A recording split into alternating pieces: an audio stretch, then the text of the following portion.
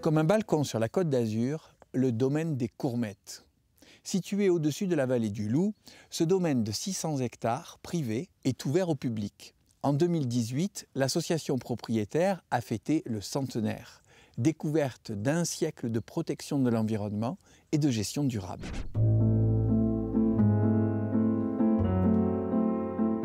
À l'origine, euh, c'était donc une grande ferme euh, avec euh, environ 1000 moutons ici. C'était aussi une maison bourgeoise. donc en 1918, un pasteur donc, du nom de Stuart Léo Roussel décide d'acheter ce domaine pour en faire un sanatorium pour soigner la tuberculose osseuse. Il a un donateur américain qui lui a donné de l'argent pour pouvoir acheter ce, sanatorium. Il construit toutes ces arcades sur les corps de bâtiments de ferme existants. Donc c'est un architecte très connu qui s'appelle Auguste Perret qui est euh, à l'origine de ces arcades. Dans les années 30, ce sont les éclaireuses qui investissent les lieux et plus globalement les mouvements de jeunesse jusqu'aux années 60. Petit à petit, l'idée d'un centre d'initiation à l'environnement fait son chemin.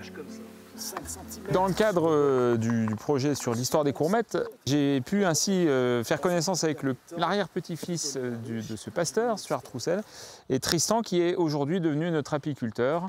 Et, mais ça, c'est une autre histoire. Des arbres plusieurs fois centenaires témoignent du respect dont ils ont fait l'objet.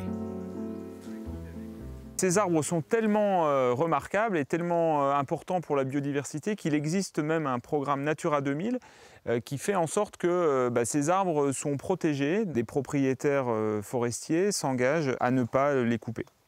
Aujourd'hui, les grands chênes sont une attraction pour les visiteurs à travers les trois sentiers pédestres qui parcourent le domaine, tandis que d'autres secteurs restent volontairement à l'écart du balisage. C'est une zone qui, en fait, géologiquement, s'est affaissée il y a euh, autour des années 1880, on pense. Euh, et ça a créé des conditions euh, géologiques assez exceptionnelles qui font qu'on a, depuis, création de mares temporaires qui sont extrêmement riches au niveau de la biodiversité. Ouais. Ah, j'ai retrouvé des textes qui disent que déjà à la fin du 19e siècle, les navigateurs se repéraient euh, dans toutes les montagnes de, la côte. Euh, le pic des Courmettes était le seul qui était boisé. Tous les circuits partent des bâtiments. On part à 850 mètres d'altitude, on arrive à 1250, hein, donc il y a à peu près 400 mètres de dénivelé. Et on a une vue euh, comme ça ne se voit pas aujourd'hui, mais on a une vue absolument panoramique, à la fois donc sur le, les sommets du Mercantour enneigés. Euh, et puis ici, sur toute la côte, depuis euh, Nice euh, jusqu'à l'Estérel. là, on voit très bien les îles de l'Érins aujourd'hui. Le domaine des Courmettes, c'est une propriété privée qui est ouverte au public, mais avec un certain nombre de règles à respecter. Ne pas pique-niquer sur les prairies, ne pas venir avec des chiens, ce genre de choses.